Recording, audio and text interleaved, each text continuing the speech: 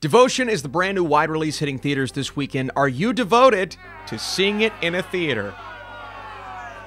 It's good. What's up, Flick fans? Welcome back to the channel. We're reviewing a lot of movies this Thanksgiving weekend, so if you want to hit that notification bell, it's the best way to know uh, that I'm posting a video if YouTube decides to tell you. But I need you guys down below. Were you excited for Devotion? Are you excited to see Kang the Conqueror and Hangman from Top Gun Maverick together? So, a pair of U.S. Navy fighter pilots risked their lives during the Korean War to become some of the Navy's most celebrated wingmen, directed by J.D. Dillard, and this movie is rated PG 13 for strong language, some war action violence, and smoking. Steer clear of the smoking, kids. Actually, this is one of those war type movies that I would say is appropriate for families, maybe not of all ages, but even early teens. I don't think they're going to have a problem with this. This is indeed one you can see with everybody this upcoming weekend. And our two stars, Jonathan Majors, Glen Powell, headline a true story that is both heartbreaking and somewhat entertaining, especially when we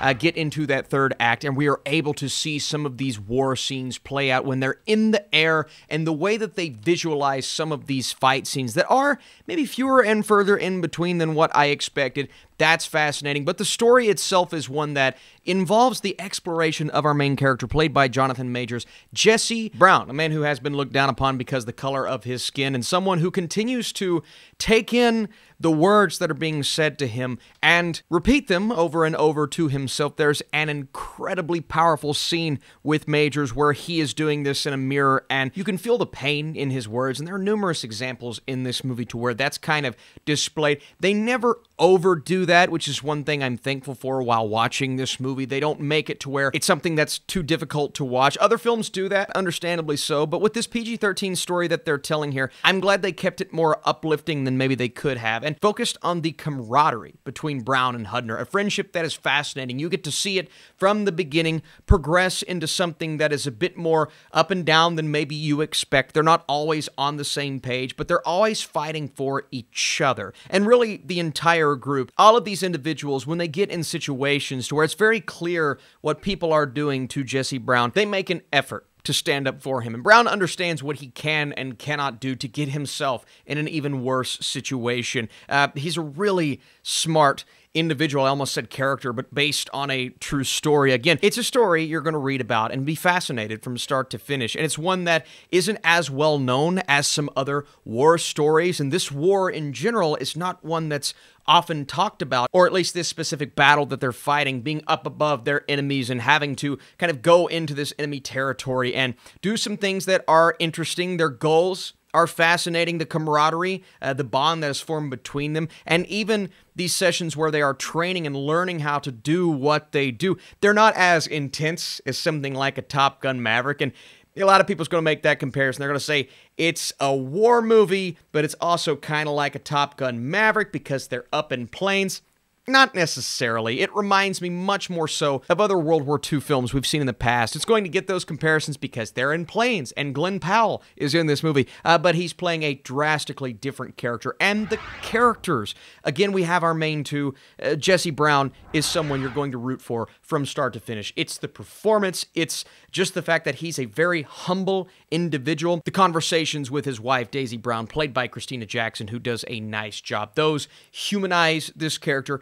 I do believe they spent a bit too much time before we get into that process of starting the battle. There's around an hour and 20 minutes spent before really anything of note happens from an action perspective. And I get building up your characters. That's something you have to do in a film like this. But I felt as if they spent too much time doing that. And then some of these other side characters, whether it be a Joe Jonas or Nick Hargrove, they are good and they're a nice support system for Jesse and Tom, but no one gets exploration outside of our main two guys when we are with them in this war setting. So you don't really care about anyone other than our main two that's both a good and a bad. They don't want to spend too much time over here, but you almost have to at points for us to care about the camaraderie between all of these individuals. And I also think it could have added to the end of this movie, and that pacing does weigh it down. I also think the runtime weighs it down. Like I said, you read this story, you're going to be fascinated, but the way that it translates,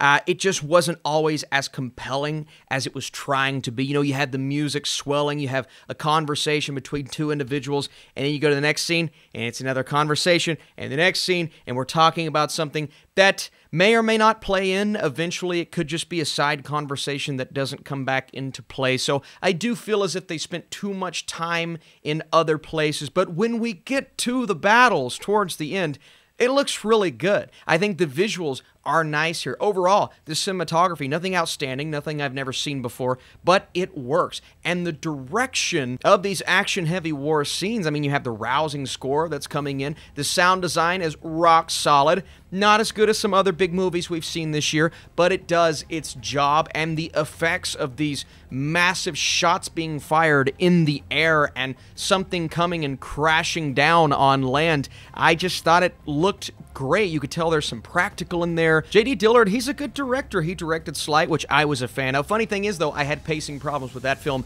I, I still have pacing problems with this movie. Part of me would even say this movie is more of a drama than a war film, and it feels like it's trying to be that at points, which will inevitably disappoint some people. Maybe that disappointed me, but I was okay with it at points because some of these dramatic beats were compelling. If you're here right now and you want to drop a like, that would help out this channel. And if you're still watching, just to confuse everyone else, comment, Kang flies planes. That'll get them. Devotion turns a compelling true story into a slightly formulaic war drama that manages to overcome its conventions with outstanding performances and grand visual effects. Jonathan Majors is a star you know this. I'm going a 68% with my score. I enjoy this movie. It is a recommendation from me. If you like this genre, I think it's worth a watch this Thanksgiving weekend. More Thanksgiving movies to come. The Fabelmans and Strange World. Those reviews are coming soon. This morning, I dropped my review for Wednesday on Netflix. I'll see you guys later.